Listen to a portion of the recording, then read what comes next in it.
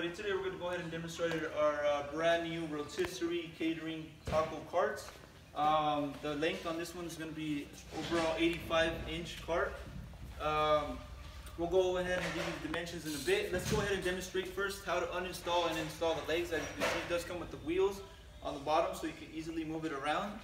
Um, so pretty much, it's not hard at all to uninstall and, un and install. All you gotta do is just put the legs in bottom of these holes.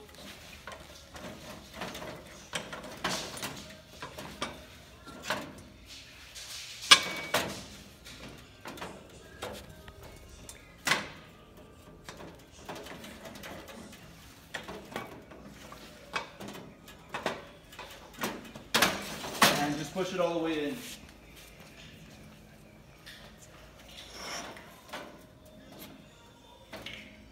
Now, as you can see over here on the top, you'll be able to locate your burners over here. There's gonna be four separate um, compartments.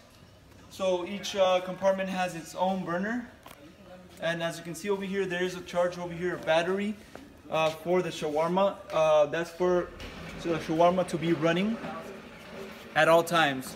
So this is all, you can use either propane or natural gas on this cart, as you can see. And the shawarma does run on electricity. Yeah.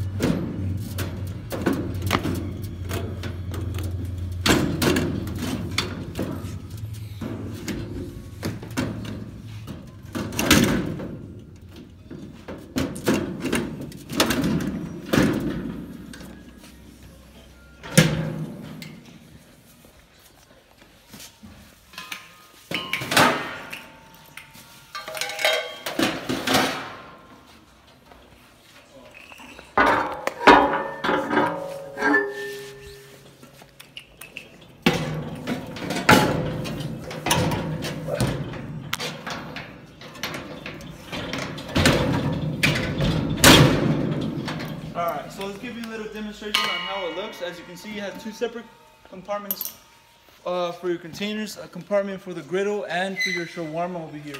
Uh, there is going to be four switches over here to control your uh, fire for each uh, compartment. As you can see, the charger located right there in the bottom. Uh, the battery, it also comes with a charge. So the battery lasts as long as one day, so you can charge it. It'll last you for one day and uh, you know once the day is over you can go ahead and charge it again. Um, over here you take a look.